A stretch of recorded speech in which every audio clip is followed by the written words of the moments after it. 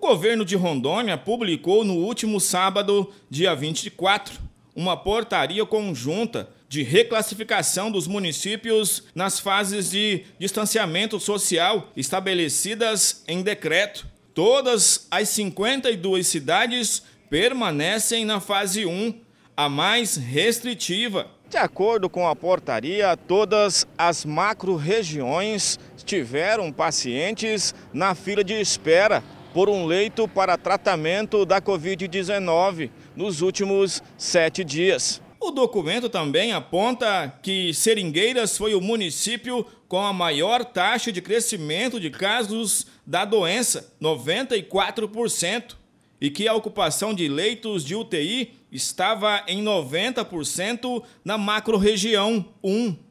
As regras de evolução de fase foram alteradas em decreto publicado na última semana. Agora, para os municípios progredirem para a fase 3, é preciso, além de seguir os critérios estabelecidos anteriormente, ter pelo menos 50% da população vacinada contra o novo coronavírus. A próxima reclassificação está prevista para acontecer no dia 8 de maio, com base em dados coletados entre os dias 24 de abril e 7 de maio.